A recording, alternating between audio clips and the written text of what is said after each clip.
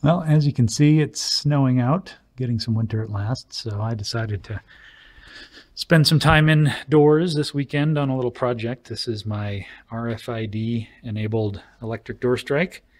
So we've got a inexpensive electric 12 volt uh, door strike uh, connected via a breadboard to an Arduino, um, an RFID reader, and uh, a relay to actuate the switch.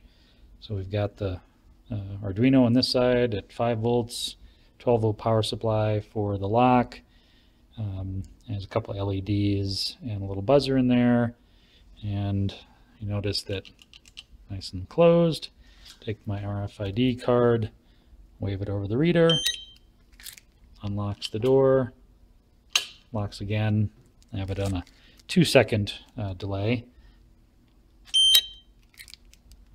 Go. Not fast enough that time. So uh, that will go into some project in the house. I uh, haven't quite decided what yet. Um, but uh, yeah, that's it for this uh, little project.